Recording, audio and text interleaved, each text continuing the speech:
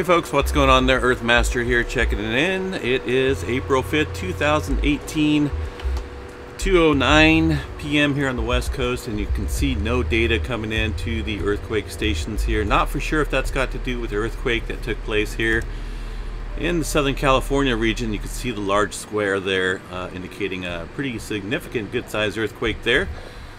Uh, just off the coast down there, Southern California, 5.3. Uh, no doubt, a lot of folks felt that down there. Uh, this taking place here at, uh, let me get some information on that here. Uh, depth from this earthquake at 6.2 miles. You can see that down here on this uh, data station here from Caltech.education website. I'm sure quite a few people felt it. 5.3 is a pretty uh, good sized earthquake. Not large, but definitely moderate in size. See numerous people from Santa Barbara all over the place down there uh, feeling it. But uh, anyway, yeah, so my station data is not coming in at the moment. I'm going to go ahead and see what's going on with that. Might have to do a complete reset on it to see if I can get that back up to uh, back up and running there. Uh, but for now, a little bit of earthquake down there. And uh, this all taking place here uh, just a short time ago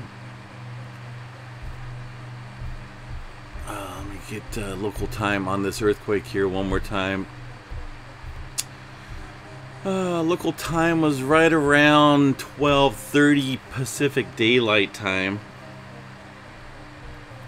Uh, so a little bit ago, but uh, nonetheless, I was caught up in a bunch of stuff today, getting uh, getting some stuff done, and I just did not see this come over here, folks. So I apologize on that end.